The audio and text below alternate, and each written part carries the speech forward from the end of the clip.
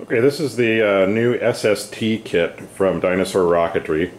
It's uh, styled after the uh, Concorde. Um, it uses a uh, plastic nose cone from the uh, Interceptor kit. Um, has a Depron wing, weighs around 12 ounces, ready to fly. It's a 23 and a half inch wingspan, and it's got about a 5 ounce per square foot wing loading. Um, I'll come around to the back here and uh, show the uh, control surface movements. So this is uh, this is neutral. For uh, launch I'm using about an eighth of an inch of down trim. You can see the down trim movement. And then for glide I'm using uh, about a quarter of an inch to uh, maybe not quite three eighths of an inch of up trim. And here's the aileron throws, so that's right aileron, left aileron, up elevator. Elevator is about twice as much as the uh, aileron throw. There's down elevator. And the kit's quite simple. It takes about an hour to uh, put together. I'll show the uh, the bottom here with the uh, rail buttons. Um, on this particular kit for aesthetics, I put the servos on the bottom.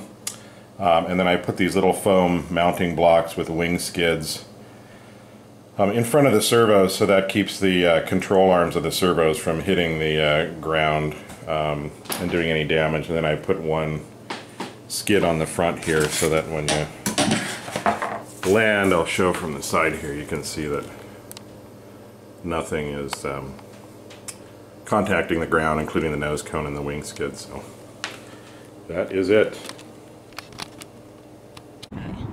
Five, four, three, two, one.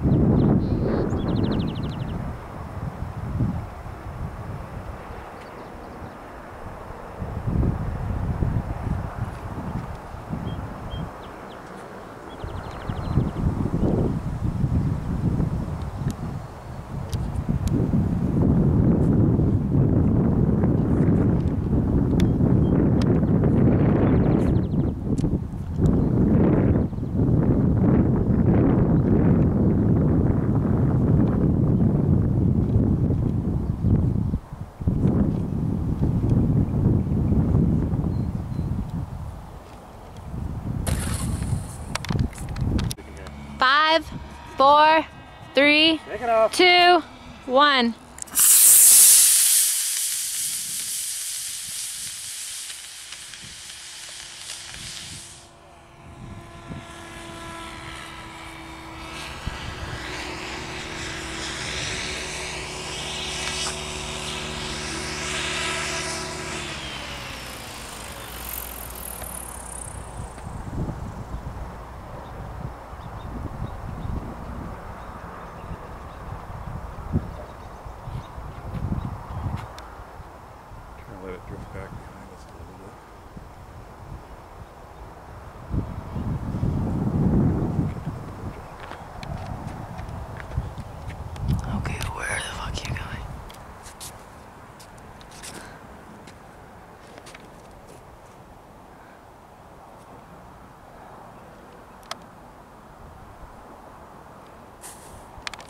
You it?